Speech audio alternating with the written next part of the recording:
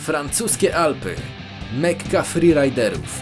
Region oferujący jedne z najlepszych warunków freeridowych na świecie.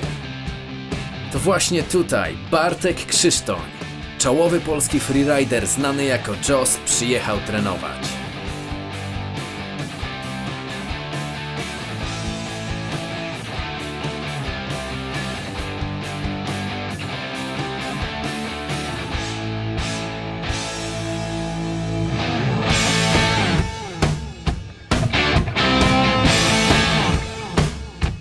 Joss nagrywa swoje treningi kamerą sportową i samodzielnie montuje wideo, które umieszcza w sieci. To on wie najlepiej, które momenty są najciekawsze. To jego sposób na to, by pokazać innym to, co w nim siedzi.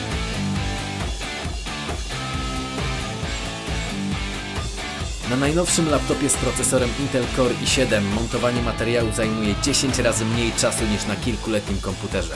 Dzięki temu samodzielny montaż w domu lub w terenie nie jest żadnym wyzwaniem. Gdy wybierasz sprzęt dla siebie, liczy się to, co w środku.